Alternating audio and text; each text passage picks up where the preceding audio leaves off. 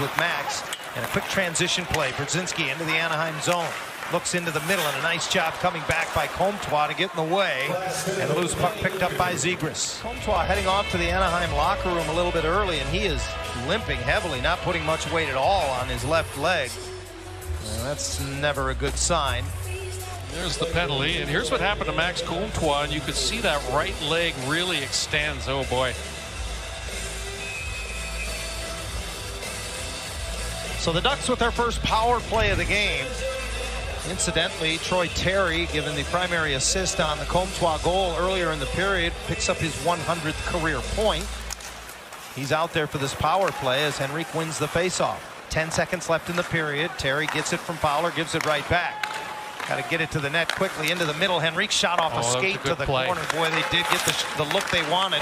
One last shot from Henrique before the horn sounds, misses and rides around the glass.